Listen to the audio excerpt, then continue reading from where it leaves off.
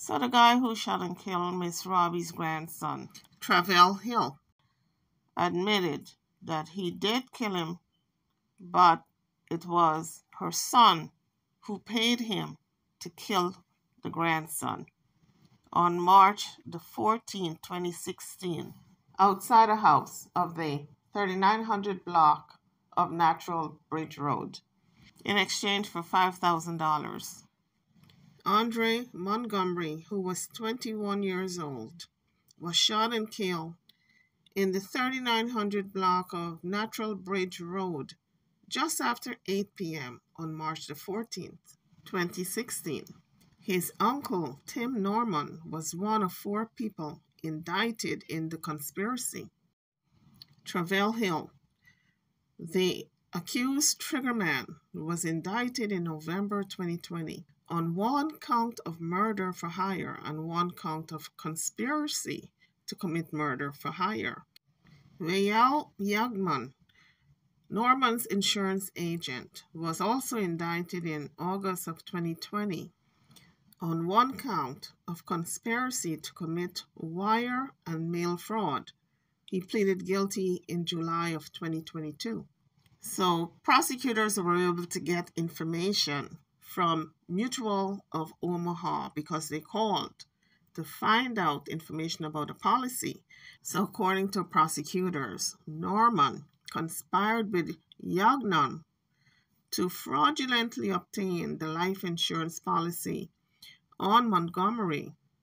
So, in October of 2015, the pair submitted four separate life insurance applications, each of them containing false information regarding Andre's income, net worth, medical history, employment, and family background to the insurance company, Mutual of Omaha. So, representatives from three of the insurance companies stated in court that they canceled the application process due to incomplete paperwork or inability to obtain the necessary information to issue a policy. And they claimed in court, even if they had gotten information and the application was completed in full, they still would not have issued a policy because Norman was not part of Andre Montgomery's immediate family. In the policy that was ultimately issued through Foresters, Norman obtained a $220,000 policy with a 200,000 accidental death rider that would pay out if Montgomery died of anything besides natural causes and a $50,000 10-year term rider that would pay out if Montgomery died within a decade of the policy being approved.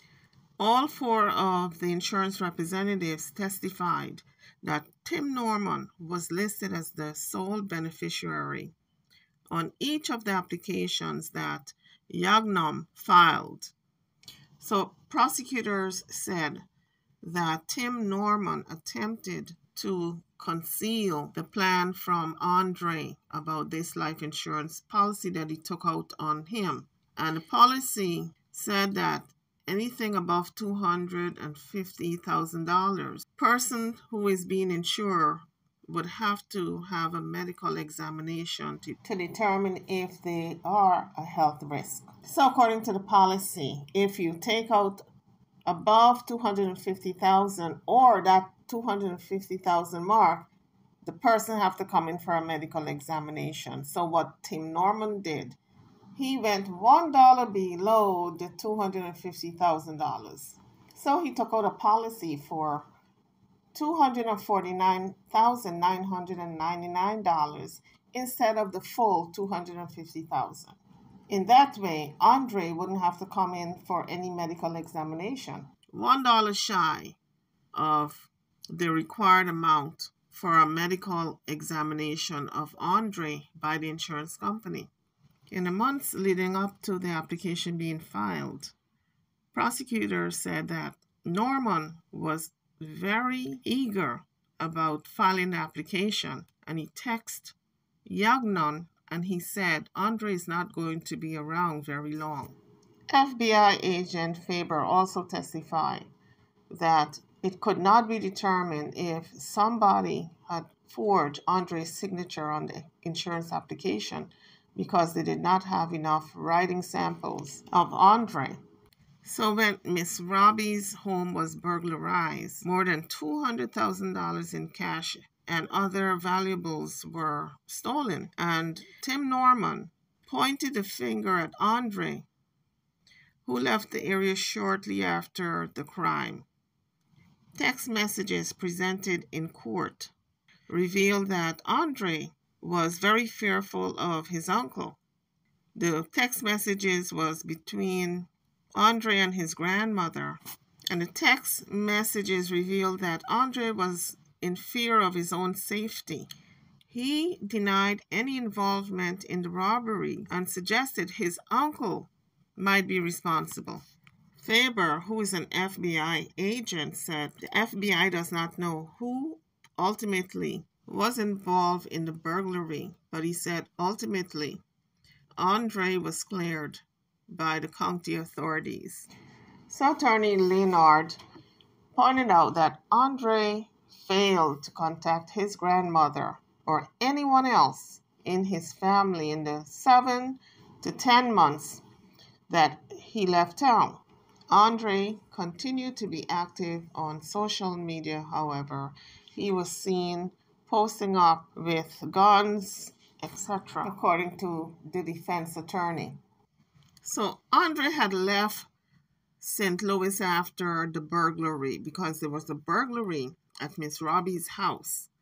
Andre left, and everyone assumed that he was the one who committed the crime. That's why he left. But Faber said that Andre returned to St. Louis in March 2016, just before his death. He came back to St. Louis to take a polygraph test to clear his name in connection with the June 15 burglary at a home of the grandmother's house, Robbie Montgomery. Now, police said over $200,000 in cash and other valuables were stolen from the residence. So Hill said on the day of the shooting, he met with Tim Norman south of downtown St. Louis. So on that day, Tim Norman, who is 43, and Terica Ellis, the exotic dancer he was going out with at the time, bought and activated prepaid cell phones from Walgreens in the Central West East neighborhood. So Terica Ellis then told Tim Norman to initiate all further phone calls using these prepaid phones that was just bought. They're known as burner phones because they bought them just to use and throw them out. So on March the 16, 2016, Tim Norman told Hill to meet with someone that they both knew.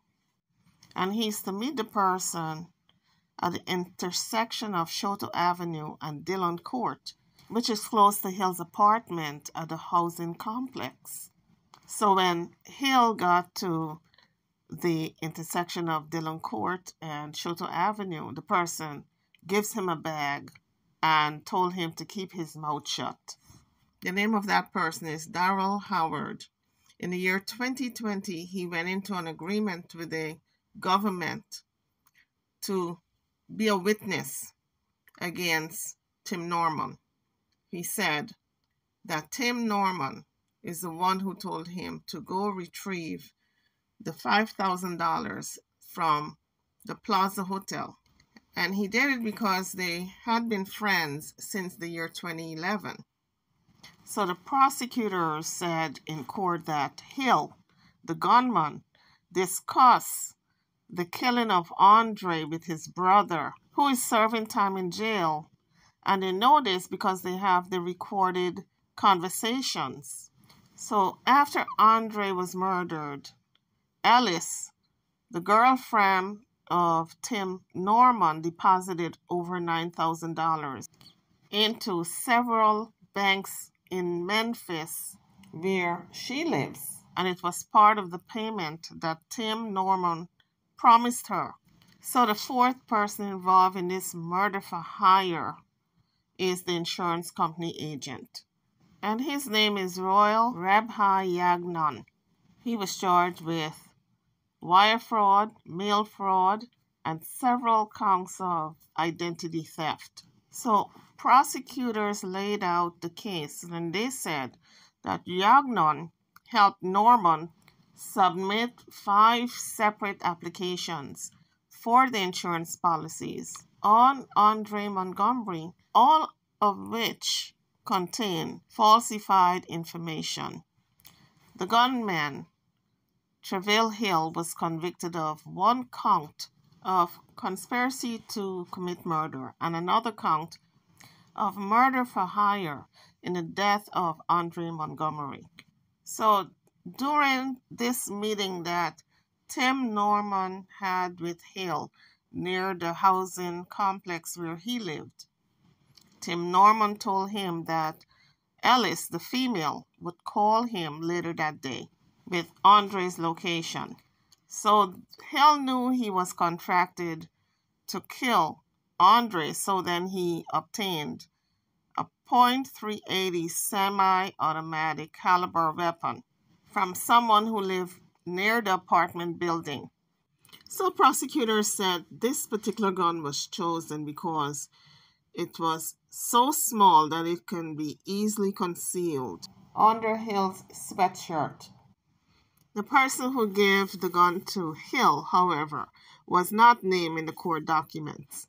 So at this point, Ellis attempted to call Hill at least five times. And at around 7.07 p.m., Andre Montgomery texted his location to Ellis, who then relayed it to the gunman, Hill, and Tim Norman. And the location was 3964 Natural Bridge Road. So Ellis, a 33 year old exotic dancer from Memphis, at that time was involved in a relationship with Tim Norman. So she passed on the message to Hill when he was at the location that she was going to lure Andre outside of the home for Hill to kill him. So at around 8 p.m., Hill arrived at the home and Andre Montgomery came out a short time later. This account was supported by eyewitnesses. So initially, Hill was not sure that a man who came outside of the house was Andre Montgomery. So, in order to confirm his identity, Hill said he asked Andre if he had any marijuana. So, at that point, Andre walked towards a vehicle where someone was sitting inside the car, at which point he spoke to the person inside the car. So Ellis gave Hill the go ahead that yes, this is the guy. So after Andre left the car, he was walking back to the house. This was around 8 p.m. At which point, Hill calls out to Andre. Andre turns around, walking towards him, and he shot him several times. Some minutes after the murder, Ellis, who was then going out with Tim Norman. She is the exotic dancer. She calls him on the phone. She let him know that the deed was done. She began to drive back to Memphis, where she lives. And Tim Norman had flown from St. Louis to LA earlier in the day, returned to California. He returned to California because that's where he was setting up the new restaurant, Sweetie Pies. So after Andre's death, Tim Norman, who was also charged with mail fraud and wire fraud, he tried to collect the insurance money of $450,000 of the insurance policy that he took out on Andre Montgomery. So the breakdown of the policy is a base policy of $250,000 as well as a $220,000 accidental rider that would pay out in the event that Andre died of something other than natural causes, like a shooting, and a $50,000 rider that would pay out if Andre died within 10 years of the policy issuance in 2014. So Hale pleaded guilty on both counts of murder to the plea agreement. The prosecutors did not call for the death penalty for Tim Norman as well as Ellis, his girlfriend at the time of the murder, are now serving time in the penitentiary. YouTubers, I'm over now. Don't forget to like, share, and subscribe to my channel and to this video. Thank you for watching.